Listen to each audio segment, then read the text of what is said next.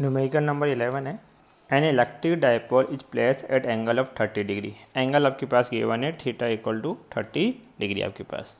Electric field magnitude electric field magnitude that is E कितना है? Five into ten की power four newton per coulomb it experiences dipole एक dipole आपके पास given है four into ten की power minus nine coulomb into metre यहाँ misprint है टॉक नहीं है डायपोल की वैल्यू गिवन है ये।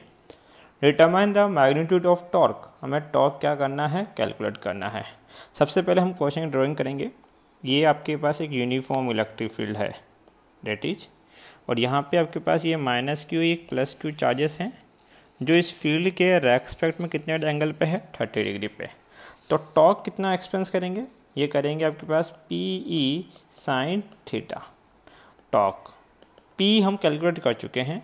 फोर इंटू टेन की power minus nine four into ten की power minus nine E electric field given है फाइव इंटू टेन की power four five into ten की power four multiply sine of thirty degree ये हो जाए कितना? Five four जा twenty multiply minus nine plus four ten की power minus five sine thirty की value one by two cancel out किया? Ten times ten की पावर वन है. माइनस फाइव टेन की पावर कितना हो जाएगा? Minus four that is torque और इसकी वैल्यू कितनी होगी आपके पास?